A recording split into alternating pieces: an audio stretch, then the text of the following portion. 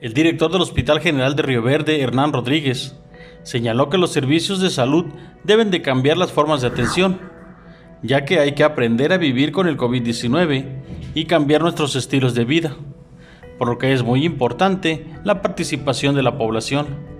Vislumbro mucha, mucho cambio eh, en, los servicios de salud, eh, en, la, manera de ver las cosas de aquí en adelante, ¿verdad? Este, vemos que realmente no sabemos si esto vaya a terminar rápido, realmente pensamos que no, pensamos que es algo que, que vamos a tener que aprender a vivir un poquito con ello, vamos a tener que cambiar muchos estilos de vida.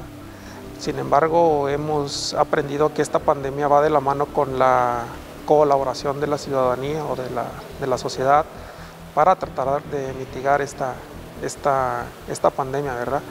Dijo que se han atendido a pacientes mayores de 60 años que en estos momentos son los más golpeados por la pandemia por tener un factor de mayor riesgo al presentar enfermedades propias de su edad y necesitar una atención más personalizada.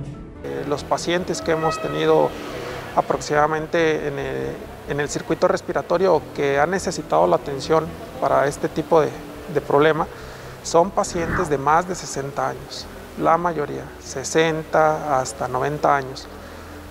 Las personas de la tercera edad y los abuelitos o los papás que han necesitado la hospitalización son a los que más eh, está golpeando esta pandemia. Son pacientes de la tercera edad que por su edad ya tienen un factor de riesgo y que necesitan esta hospitalización. Aseguró que el mayor problema del COVID-19 es la movilidad que se sigue dando en jóvenes que contagian a personas vulnerables. Y esto ha llevado a familias a perder dos o más seres queridos. Gente que se queda en su casa tratando de cuidarse. Estas personas quizá estén pagando los platos rotos, ¿verdad?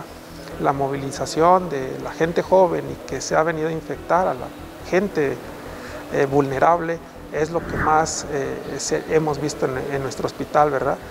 Si bien es hecho, también hemos tenido ya desafortunadamente gente que ya ha sido golpeada por por el COVID con la muerte de algún familiar.